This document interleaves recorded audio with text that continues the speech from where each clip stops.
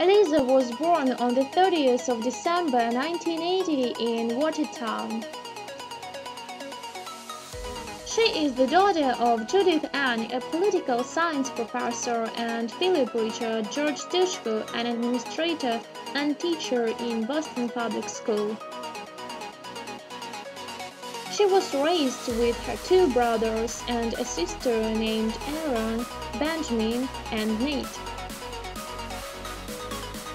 Eliza entered the industry from her early age. At the age of 10, she was signed for the film that night.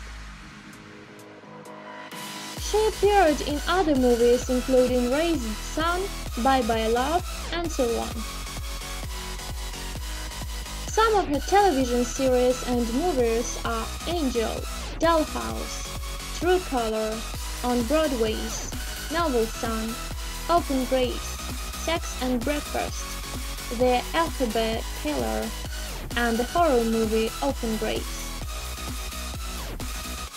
Talking about her personal life, she was in a relation with Brad Penny, a Los Angeles Dodgers, in 2007.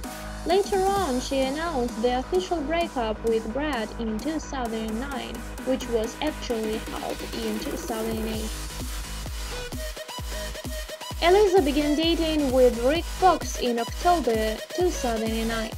Rick Fox is a former professional basketball player, film and television actor.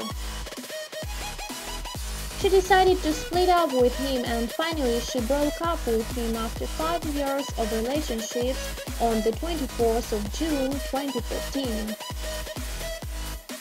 The gorgeous actress Eliza Dushku has an estimated net worth of $10 million with $1.5 million annual income.